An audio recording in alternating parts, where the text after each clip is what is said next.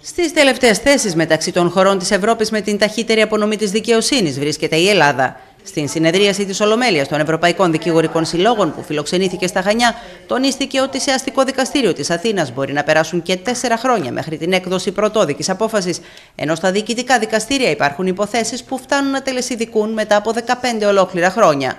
Και εκεί πρέπει να δουλέψουμε πάρα πολύ, όλοι μαζί θα έλεγα, πολιτεία, δικαστές και δικηγόροι. Εκεί ε, υπάρχει ένα ζήτημα παραβίασης ανθρωπίνων δικαιωμάτων, διότι το δικαίωμα πρόσβασης στη δικαιοσύνη, όπως είπα, είναι θεμελιώδες.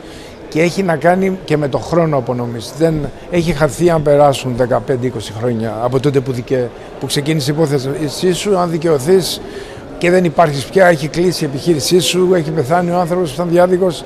Είναι ένα πολύ σοβαρό ζήτημα.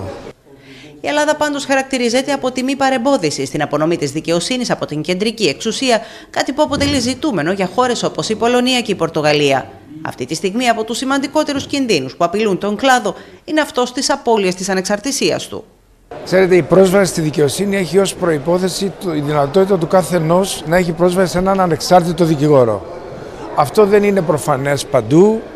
Σήμερα, για παράδειγμα, στην Πορτογαλία συζητάμε από τους συναδέλφους από την Πορτογαλία γιατί υπάρχει μια καινούργια νομοθετική πρωτοβουλία εκεί που καταργεί.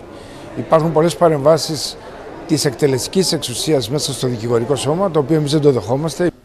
Την ίδια στιγμή ο κλάδος στην Ελλάδα φαίνεται να έχει κορεστεί, καθώς σε αναλογία πληθυσμού καταγράφονται υπεράριθμοι δικηγόροι. Συγκριτικά με τον πληθυσμό η Ελλάδα έχει, έχει τη είναι στη δεύτερη ή την τρίτη θέση.